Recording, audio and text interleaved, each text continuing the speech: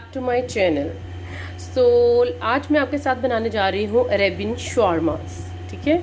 और ये बिल्कुल लेबनीज शॉर्मा की रेसिपी है, जिसमें आप देख सकते हैं ये शॉर्मा ब्रेड है, ये फ्राइज़ हैं, और ये मैंने चिकन ये देखें स्ट्रिप्स की फॉर्म में इसको ब्रेस्ट पीस को स्ट्रिप्स की फॉर्म में कट कर लिया है, और ये मैंने विनेगर में क्यूकम्बर और कैरेट को गाजर और खीरे को काट के मैंने उसमें डिप कर दिया है, ताकि ज़रा तब तक, जब तक हमारे शवामास की रेसिपी रेडी होगी, तब तक ये थोड़े से इनका खट्टा सा टेस्ट हो जाए। ठीक है, ये मैंने यंग मायोनीस की गार्लिक मायो ली है सॉस और एक मैं कुछ स्पेशल मायोने सॉस रेडी करूँगी शवारमा सॉस जिसको हम हमस भी कहते हैं, ठीक है? वो हम इसके साथ बिल्कुल लेबनीज अरेबियन शवामाज आज रेडी करेंगे। तो लेट्स स्टार्ट अ रेसिपी पहले मैंने अपना स्टेप बाय स्टेप हम काम को शुरू करेंगे। सबसे फ़र्स्ट स्टेप मैंने लिया है यहाँ पे फ्राइज कट कर लिए हैं हमने ठीक है?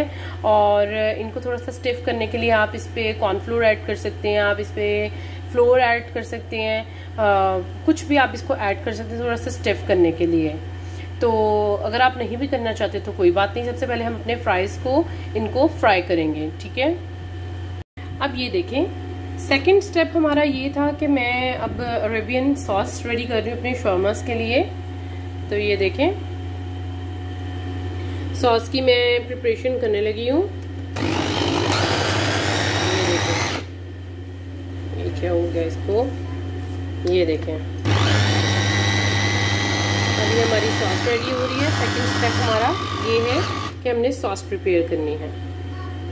ये देखें।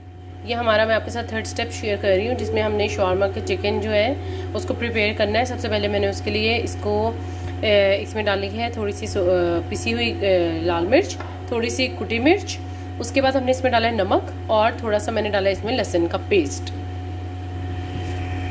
अभी देखिए हमने चिकन को मैरिनेशन कर ली हुई है। अब मैं इसको हल्का सा ऑयल डाल के, घी डाल के उसके अंदर इसको फ्राई कर लूँगी। देखें मैंने एक नॉन स्टिक फ्राई पैन लिया है और उसके अंदर मैं चिकन को हल्के से फ्राई कर रही हूँ। जैसे इसका कलर चेंज होगा और आपने इसमें नमक मिर्च बहुत लाइट रखनी है, क्योंकि जो अरेबियन और लेबनीज शॉर्मास होते हैं, वो बिल्कुल नॉन स्पाइसी होते हैं, ठीक है? और ये आप देख सकते हैं, अब चिकन हमारा फ्राई हो रहा है।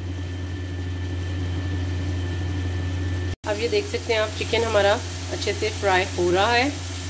ये अच्छे से कलर चेंज होगा इसका, तब इसका मतलब हमारा चिकन डन है।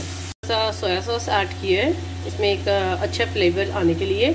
तो आपने भी इसमें हाफ़ टी स्पून जब थोड़ा सा चिकन फ्राई हो जाए उसमें सोया सॉस ऐड कर देना है। जब चिकन इस कलर का हो जाएगा तो इसका मतलब है कि अब डन हो चुका है। अब ये आपका चिकन शॉर्मा के लिए रेडी है। हम अपने फिलिंग स्टेप स्टार्ट करने लगे हैं। अब हमने शॉर्मा ब्रेड को थोड़ा सा इस तरह से लाइट ब्राउन से टोस्ट करना है।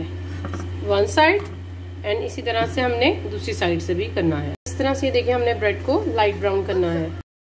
अब मैं आपको दिखाऊँगी आपके शारमा की प्रिपरेशन की किस तरह से आपने स्टेप बाय स्टेप अपना शारमा प्रिपेयर करना है। So let's see